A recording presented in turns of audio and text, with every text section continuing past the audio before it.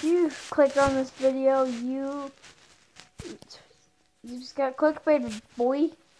I don't know. It's a trend on YouTube. I guess I'll do it.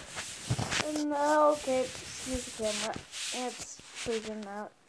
But, yeah. Get clickbaited. Woohoo. Alright. Um. Yeah. Bye.